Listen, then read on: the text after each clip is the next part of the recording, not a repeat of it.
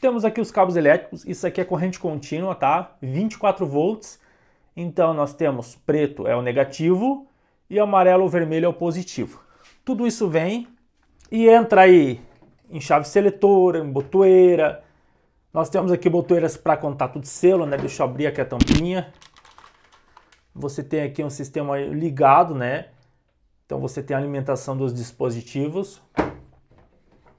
Você tem aqui, você tem aqui os contadores para ter o contato de selo, para você poder ligar alguma coisa aqui de questão de iluminação e ao mesmo tempo você também poder manter acionado algum temporizador para que esse temporizador faça algum serviço nas nossas válvulas pneumáticas. Nós temos aqui a fonte, temos disjuntor de proteção e temos aqui temporizadores, né? Todo esse sistema aqui faz com que as nossas válvulas eletropneumáticas trabalhem como um acordo, tá? É claro, gente, você pode incluir, em vez de comando, você pode incluir CLP, é, você pode incluir sinais de inversor. Gente, dá para fazer muita coisa, tá? Muita coisa mesmo, tá? O céu é o limite para quem trabalha em eletropneumática. Agora você já pode perceber que nós temos nosso sistema pressurizado. Nós estamos aqui com 90 PSI, né? em torno de 8.1 bar. E agora a gente já tem uma pressão legal para começar a trabalhar, tá? Eu vou ligar o nosso disjuntor e vocês vão perceber que a gente vai começar a ter trabalho, tá? Eu vou apertar aqui o nosso botão e vocês observam que a gente começa a ter trabalhos aqui, ó. Eu tenho um vai e vem bem legal que eu fiz com o temporizador.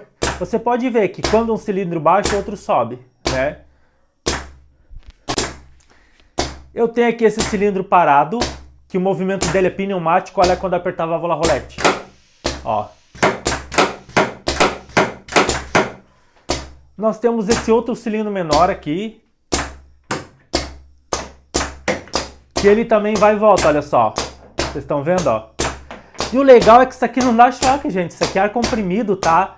O risco aqui é, é mínimo, é reduzido. Aí a gente tem um comando para aqui também, olha só. Vai para frente, fica parado, volta para trás, fica parado, então eu posso reduzir esse trabalho dele, essa velocidade, né? Posso reduzir ele aqui, olha só. Bem devagar, agora vai para frente bem rápido. Agora eu vou fazer ele ir para frente devagar e voltar bem rápido, né?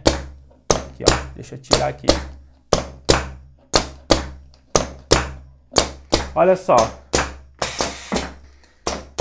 E tudo isso é feito através dos nossos relés aqui, ó. Você pode ver que eu consigo alterar essa velocidade dos relés aqui e fazer com que eles trabalhem mais rápido, ó. Ó, consigo alterar a velocidade com que eles trabalham ali, ó. Né? E a gente consegue fazer um movimento aqui, ó. E desligar e parar completamente o sistema. Então você vê que você usa a, a elétrica para que ela comande dispositivos pneumáticos. Então você tem aqui, nós temos aqui um controle em 24 volts, atendendo NR12 e fazendo movimentos nos nossos dispositivos. Agora você pode abrir porta, fechar porta, pode empurrar, pressurizar, encher, esvaziar.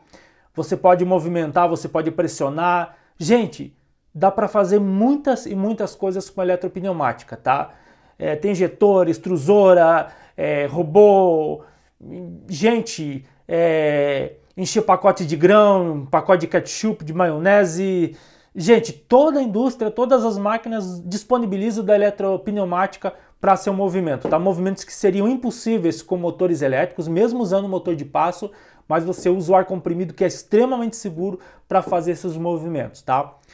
Eu espero de verdade que vocês tenham curtido essa aula, tá uma aula introdutória bem bacana e completamente gratuita para vocês.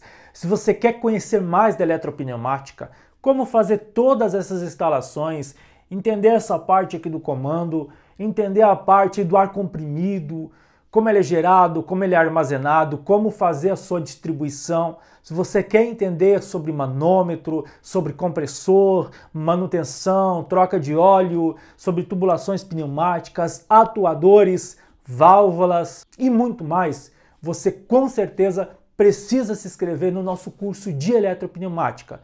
Você consegue vir fazer seu cadastro, receber todas as informações e não esqueçam, gente, É um curso maravilhoso, tem certificado, tem apostila com mais de 140 páginas com muita informação para vocês.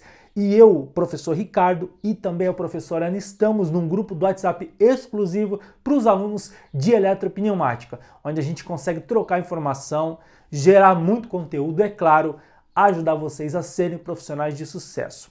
Então, todas as informações você consegue através das nossas redes sociais, você consegue também no nosso site, diretamente no curso, você consegue fazer o seu cadastro aqui receber as informações. Também tem muitas e muitas novidades para vocês. Temos Instagram também, você procura Serpa Treinamentos ou canal Ser Eletricista, tem muita coisa legal para vocês. Espero que vocês tenham gostado dessa aula, tá? E é claro, eu estou muito ansioso para ver você lá dentro da plataforma no curso, para você aprender de verdade o que é ser um profissional dentro da atuação de eletropneumática.